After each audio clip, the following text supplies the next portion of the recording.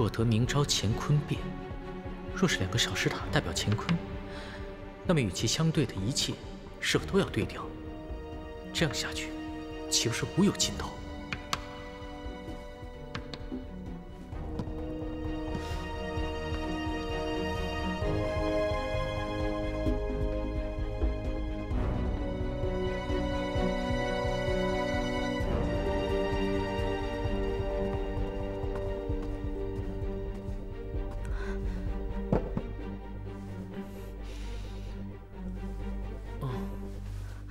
傻书生，难道你一个晚上就是这么睡的？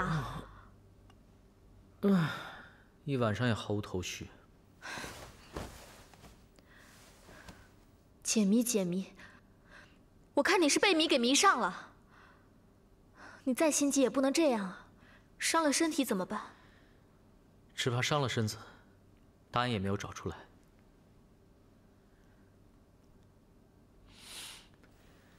唉。还好有他，我就可以继续奋战，再接再厉。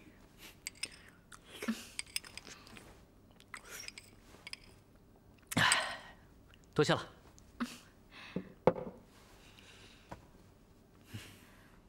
其实你不用这么累的。想抓到凶手，倒是有一条捷径。什么捷径？你不觉得？这件事真的应该从慕容清开始调查吗？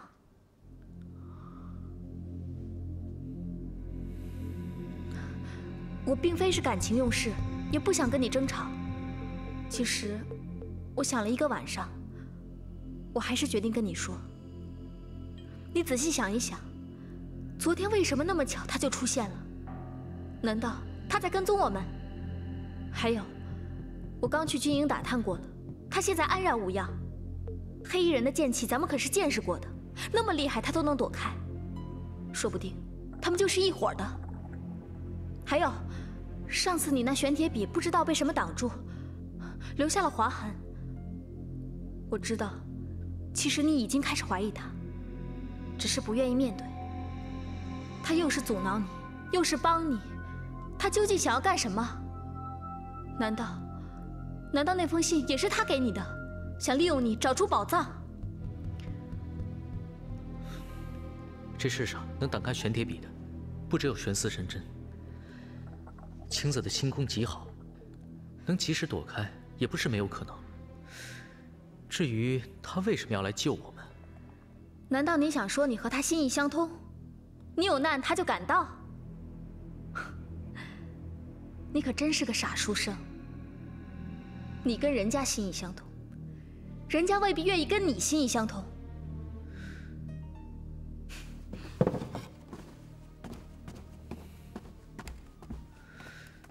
难道我真的和青子心意相通？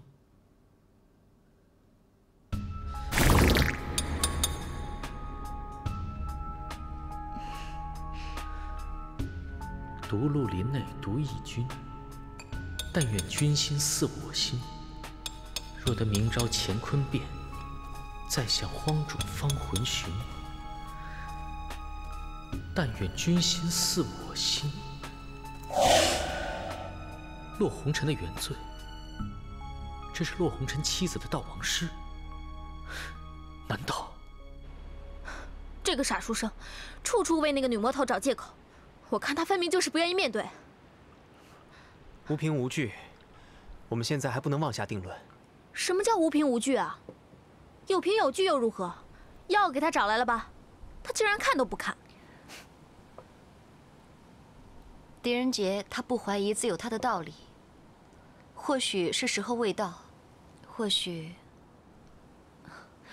总之，狄仁杰不是那种感情与理智混淆不清的人，否则他当初就不会离开药王谷。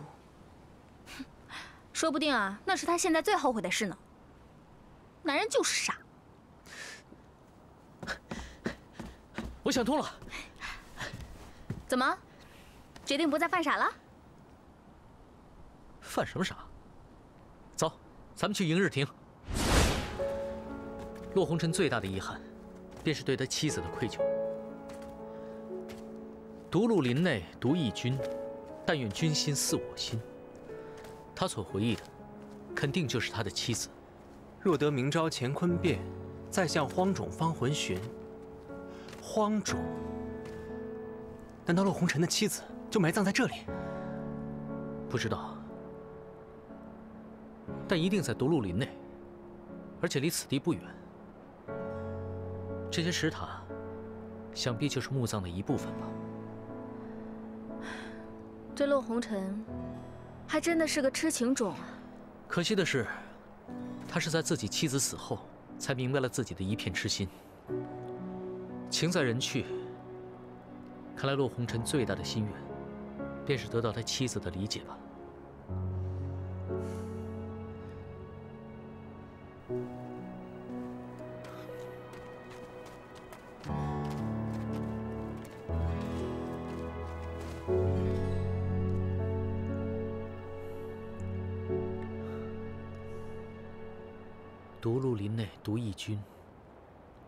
君心似我心。骆红尘想让妻子与他心意相通，那我们就帮他实现这个愿望吧。可是怎么实现呢？墨玉、红巾，帮我试试推动这个大石塔。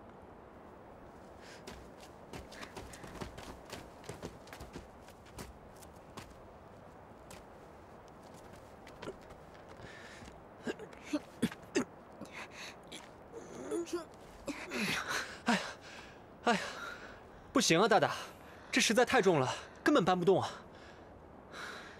看来我们要请救兵了。来来来啊！来，轻点，小心点啊！我就不相信，狄仁杰可以找到宝藏。小心啊！你怕了吧？对对，小心点啊！来，往这儿搬。来来来，慢点慢点。哎，好，小心点啊！哎，好。就在那边，就在那边。墨雨，红烛可准备好了？都准备好了。好，我们现在就帮洛红尘实现这个愿望。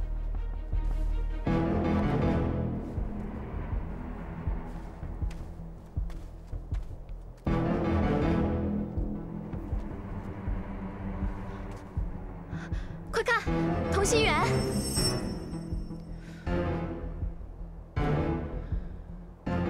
虽然我不知道飞鹰这个图案在洛红尘的心中代表什么，但那一句“但愿君心似我心”，很可能就是骆红尘想要得到他妻子的理解吧。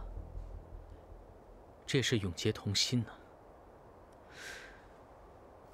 改变乾坤，只是改变了男女的视角，让妻子在前，身为丈夫的骆红尘守在他身后。每个人都有难处。希望可以得到心上人的理解吧。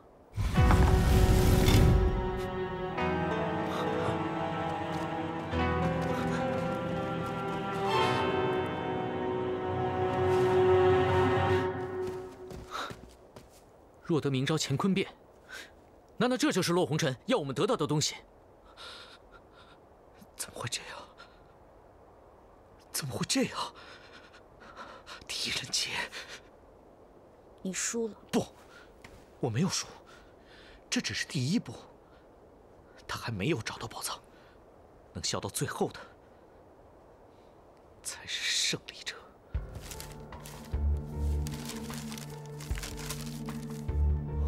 聪明人，谢谢你读懂了我的心愿。当你读到这封信的时候，想必已经经历了不少为谜题而苦的日夜。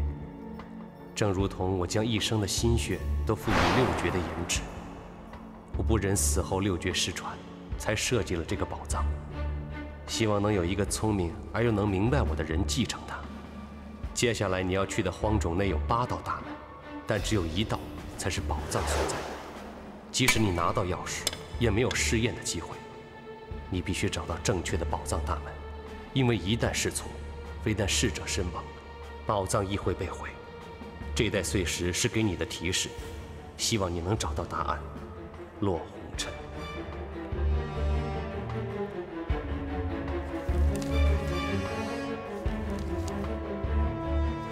哎，大大，这石头究竟有什么提示啊？现在还不清楚。我想当务之急，我们先去找到荒冢。我们要亲眼见到这八道大门，这样才可以利用碎石来猜题。那荒冢又在哪里呢？再向荒冢方魂寻。这一切都是洛红尘造出来的，包括他妻子的坟。可这独鹿林如此之大，任何一个地方都有可能是方魂的栖息之地。狄大人，我听说有一位年过百岁的老石匠住在汴州东面的一座宅院里，你说他会不会知道当年发生的事？项木兄，你的手臂怎么了？哦，没什么，可能是今天吃坏了东西，所以有些不舒服罢了。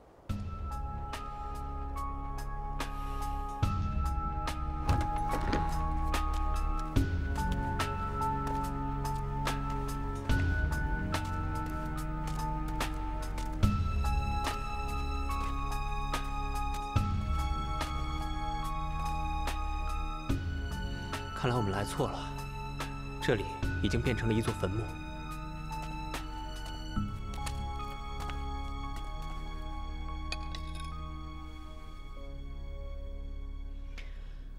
老前辈，汴州叛左狄仁杰来访。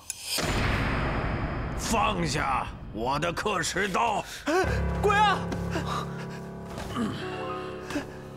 你是人还是鬼啊？你哪只眼睛看见我是鬼了啊？从石棺里出来的就是鬼吗？嘿，少见多怪！我在睡觉，好梦都被你们打扰了。哪有人在石棺里睡觉呢？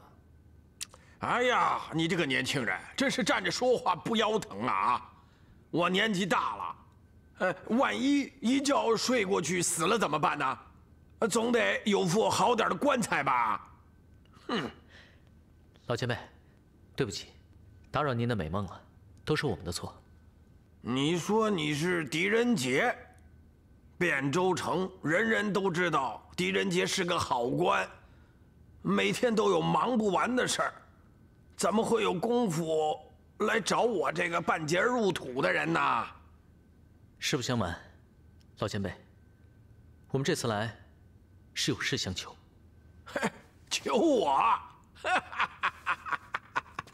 老朽活了大半辈子了，只有一个人来求过我，没想到还能再有第二个。第一个求您的人，是不是骆红尘？啊，你，呃，你怎么知道骆红尘？你是他的后人？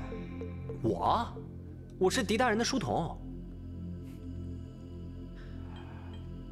可是当年洛红尘让你们在独鹿林内修造他妻子的坟墓，等墓地建好之后，把你们都杀了，而你因为运气好逃了出来。你，你们还说不是他的后人？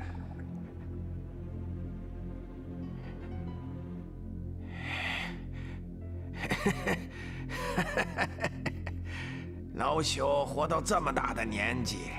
已经足以，要杀要剐请便吧，无需冒充狄仁杰来蒙骗我。老前辈，我真的是狄仁杰，我们不是来杀你的，是有事情要打听。您可知道骆红尘的妻子的墓地在什么地方？此事与不久前的一个案子有关，人家现在急需要知道答案。还请老前辈帮忙。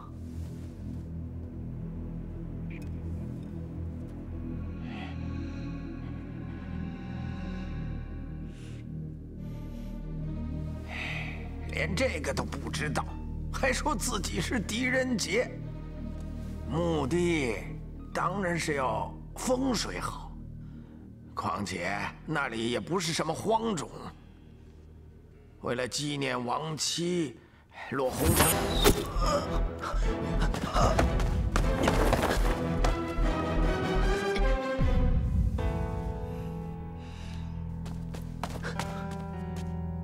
这针上有毒。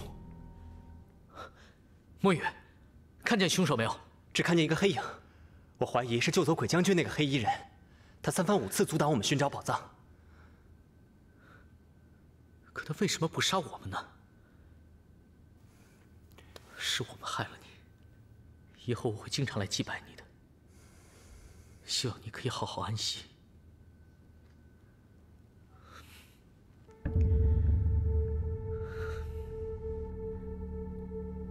风水，没错，这的确是我疏忽的一个地方。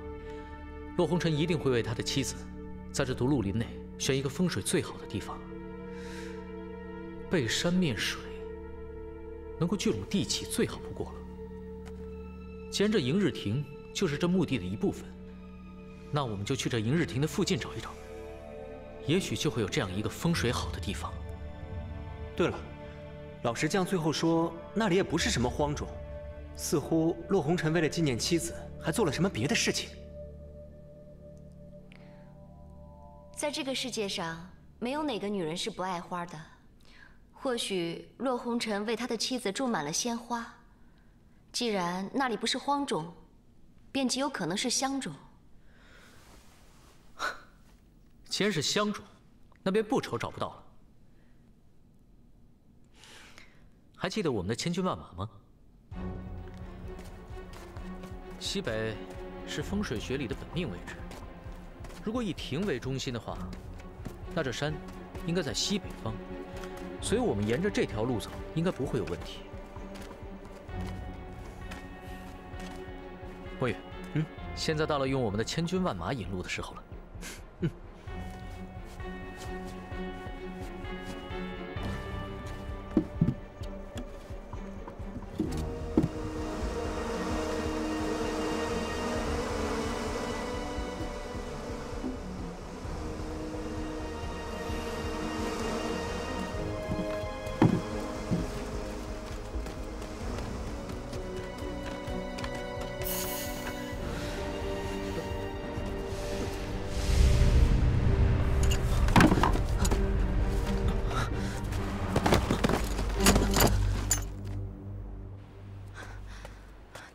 了大半日还不回来啊？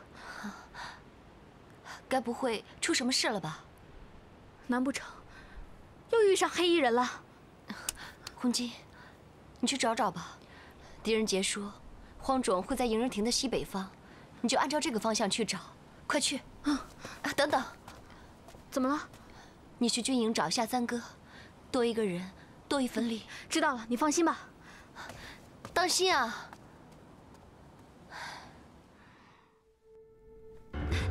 姐姐，傻书生和墨雨中毒了。什么？怎么样？严不严重？我不知道啊。我找到他们的时候，已经不省人事了。啊！他们可能是在荒冢之内中了瘴气之毒。眼下，我有请慕容姑娘来一趟了。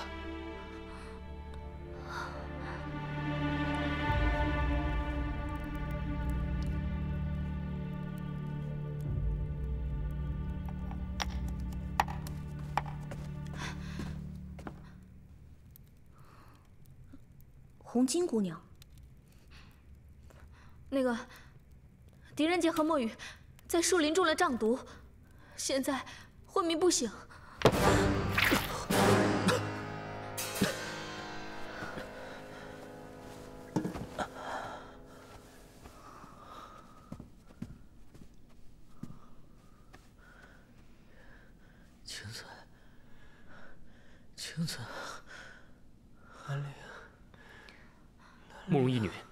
狄大人和墨雨到底怎么样了？兰陵，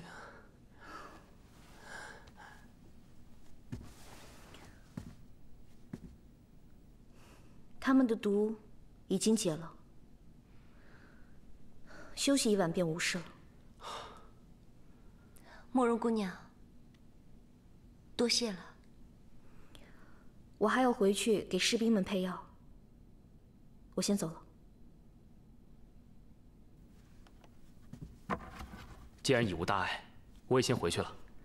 兰陵的眼睛看不见，狄大人和墨雨就麻烦你多多照顾了。三哥放心。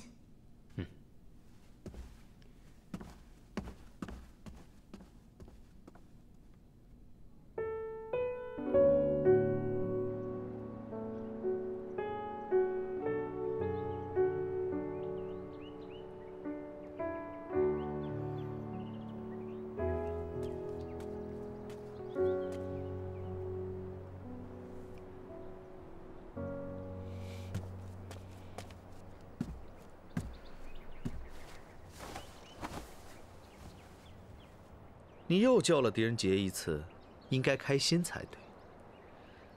怎么一个人在这儿喝闷酒啊？我警告你，不要再违背主上的旨意了。主上的忍耐也是有限的。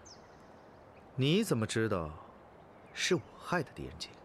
独鹿林内根本就没有瘴气，别人不知，难道我还不知吗？分明是你从乾隆会得来的弥漫散。只要一粒弥漫散埋藏在土壤中，不出一个时辰便会扩散，且聚集在空气中数日不去。既然你都知道了，我也不跟你分辨。我觉得主上的决定太过冒险，而且我信不过你。我在狄仁杰身边，只不过是为了监视他。也只有这样，主上才能永远的快狄仁杰一步。你不需要怀疑我，更不需要质疑主上的决定。否则，白衣审判会永远消失。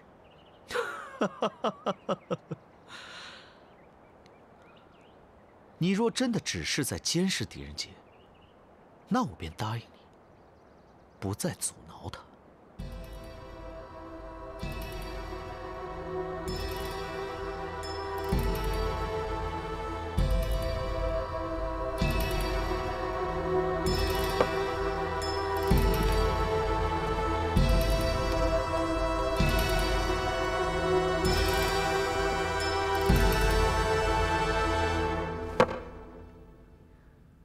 主上，狄仁杰现在已经安全了，我也警告了蒋浩辰。青子，你看，现在这里也没有外人，我希望你能叫我父亲。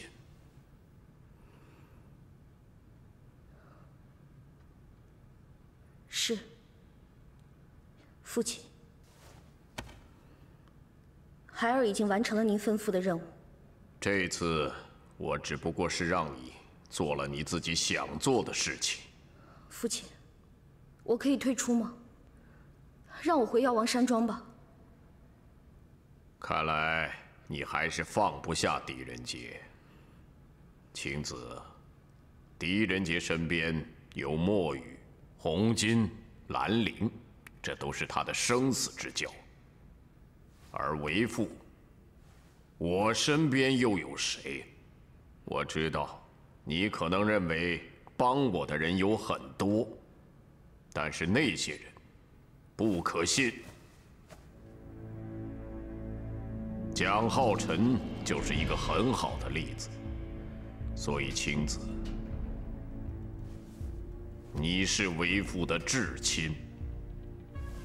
为父在这个世上。唯一能信得过的人，只有你。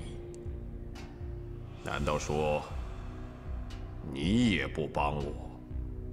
你也要舍我而去吗？父亲，孩儿并非要舍父亲而去，青儿只是想，父亲为什么一定要得天下呢？好，我就告诉你为什么一定要得天下。为父先问你，狄仁杰为什么要离开药王山庄呢？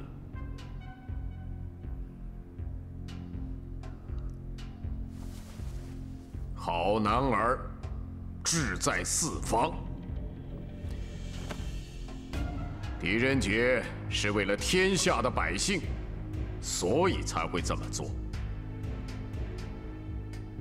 为父一样，为父也是。也是为了百姓才会这么做的。现在的皇上软弱无能，他做皇上是百姓的不幸。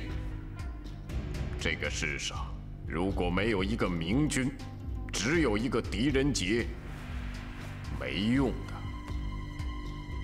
况且，我拿回属于自己的东西，这有什么错吗？天下天下，难道就没有别的选择吗？没有别的选择，这就是为父的命。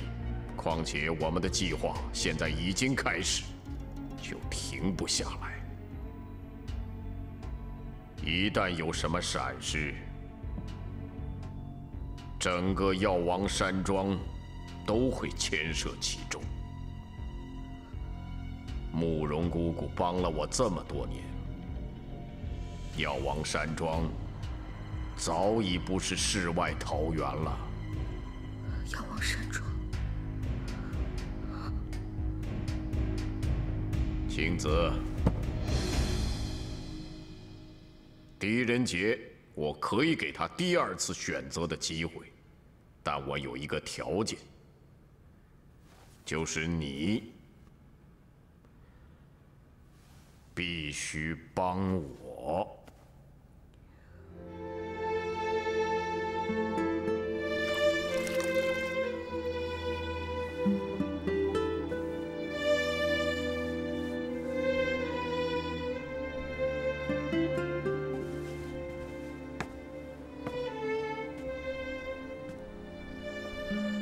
我来看看他们。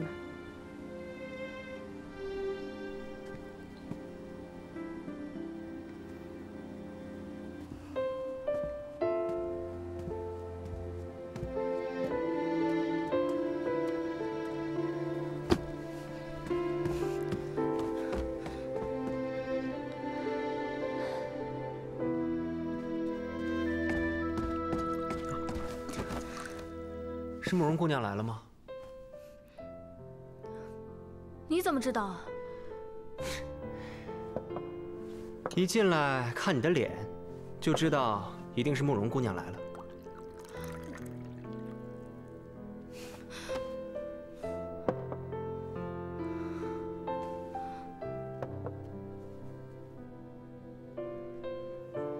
你可好些了？没事了。昨晚，谢谢你。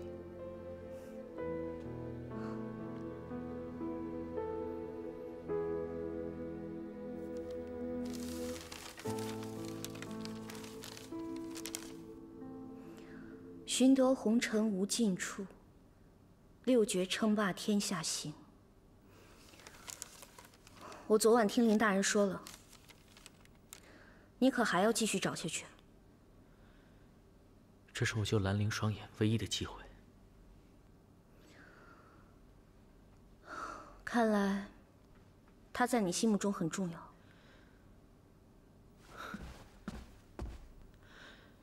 青子，兰陵的双眼是为我而伤的。我知道，我和莫雨中的毒，并非是瘴气。看来你还在怀疑我。告诉你吧，士兵们已经快好了。青子，我最不想怀疑的人就是你。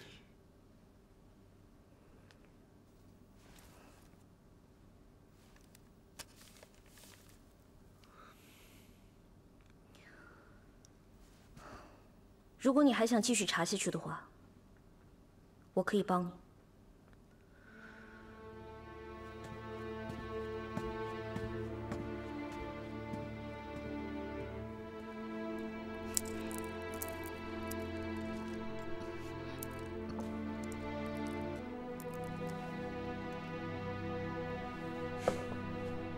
哎呀，你是我的女人呀，却在为别的男人吃醋。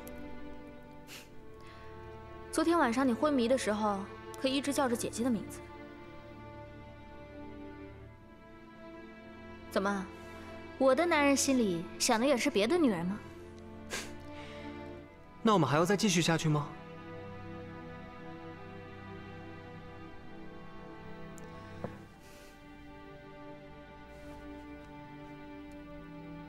当然要继续下去。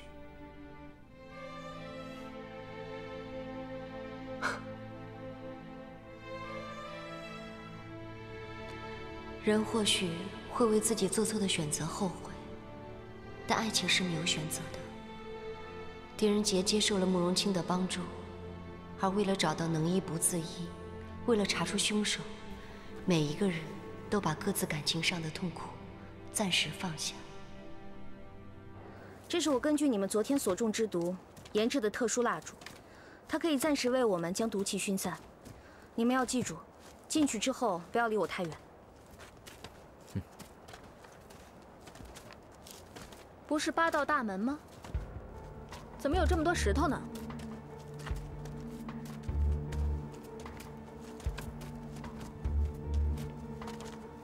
你们看，这里刚好十六块石头，想必是代表着八神大门。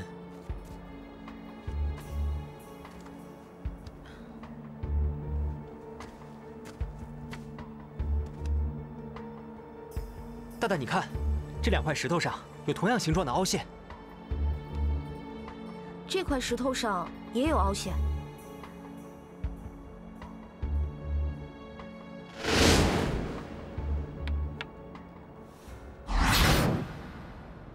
这些凹陷的大小、形状、厚度，好像跟无字天碑的一模一样。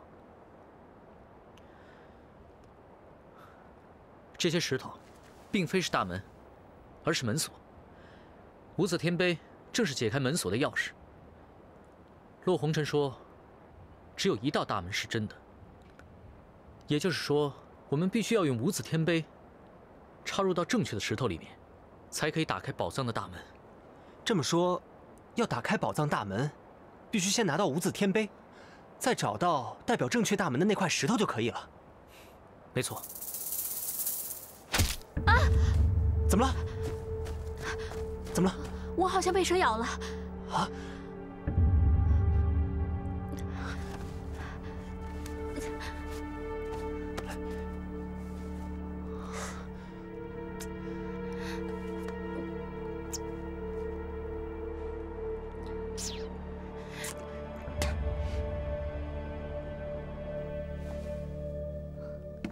我们不要再去找什么宝藏了，就算找到了无字天碑，万一插错了石头，还是会保毁人亡啊！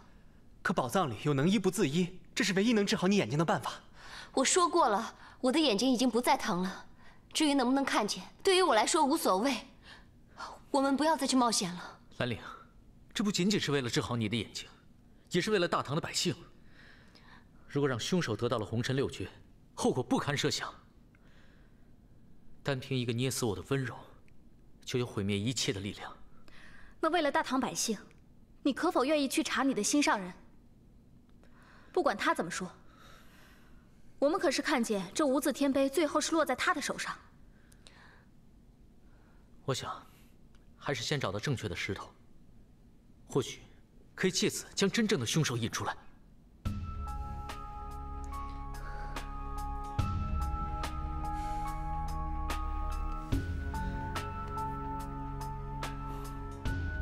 这些荒冢内的石头和这些碎石上，为什么都有一道裂缝呢？难道是有什么关联？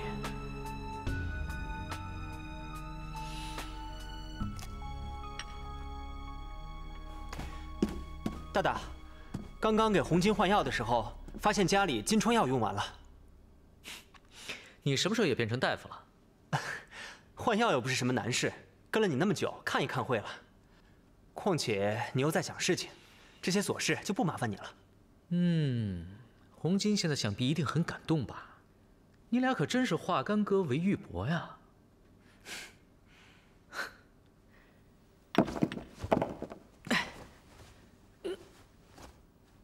哎，墨雨，正好我想透透气，走，咱买药去吧。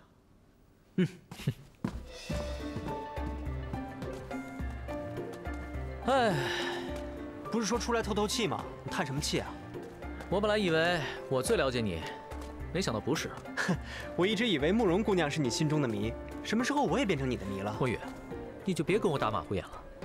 你先是为兰陵试药，又为红金吸毒换药，你心里究竟喜欢谁呀？大大，你喜欢慕容姑娘，但不也是不能和她在一起吗？你的意思是？对了。忘了告诉你了，我和红金已经决定在一起了。啊！要不到了。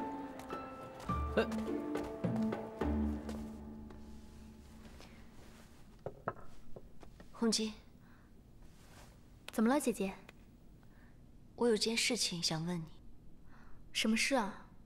我们姐妹这么多年，有什么心事都会互相倾诉的。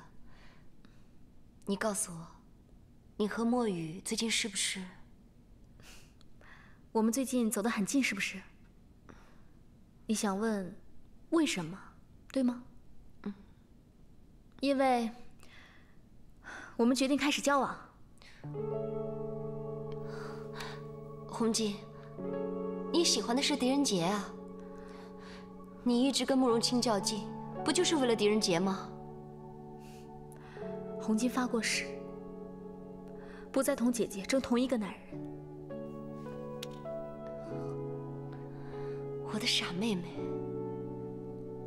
倘若你真的喜欢狄仁杰，我也绝对不会同你争的。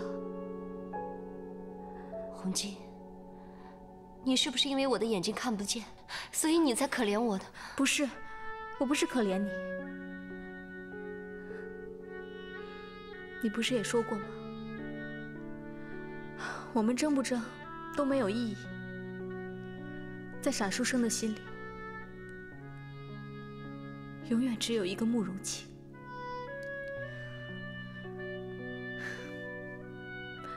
不管我心里喜欢谁，现在我决定和墨雨在一起。墨雨也挺好的，至少懂得心疼人。你不要，我要了。我想，或许早晚有一天会喜欢上他的。红姐，你拿好，谢谢。哎呀，红金呀，红金，这是墨雨的一片心呐。大大，你就别再打趣我了。打趣？不管你喜欢谁，我只希望你用真心喜欢他。哎，王老板，再加点，再加点！你这哪够五钱呢？你这每次都亏称。您要的是五钱啊，可这已经是七钱了。哎，你看，前面前面两次了，前面两次呢，一次是四钱，一次三钱半。墨雨，嗯，那你仔细看看。我也可以做大理神将军了。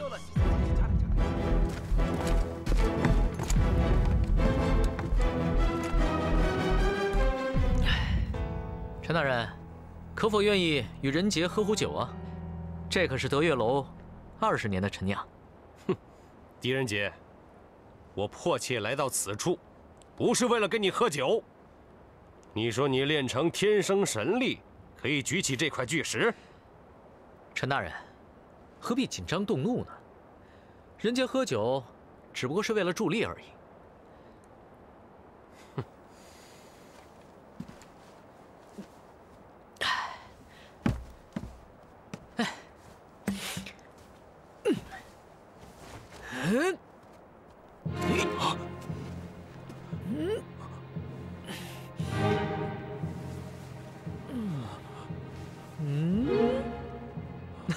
陈大人，人杰可是发梦啊？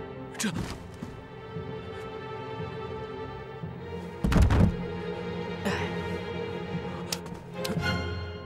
这，这不可能，绝对不可能！世上。只有彭将军才有如此之大的神力，这是假石头。狄仁杰，你是又想用假鬼君的招数来骗我吧？我是不会上当的。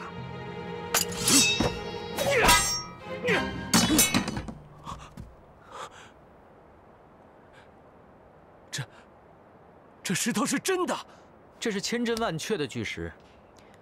不知大人是否相信？大人，你也可以举起它。你是说，我也可以？当然不妨一试。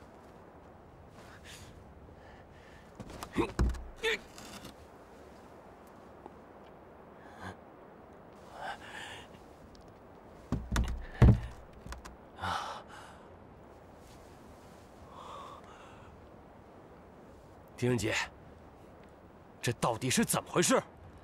大人，你看看这巨石上，有没有什么东西啊？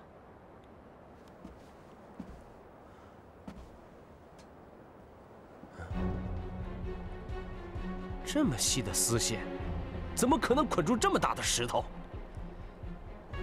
这是天蚕丝，人家的玄铁笔笔尖也是由天蚕丝制成的。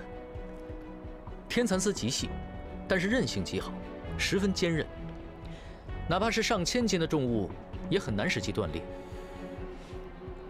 当然，顺着这个丝线往上看，天蚕丝怎么可以绕过船木？大人，请孙仁杰去木屋的后面走一趟。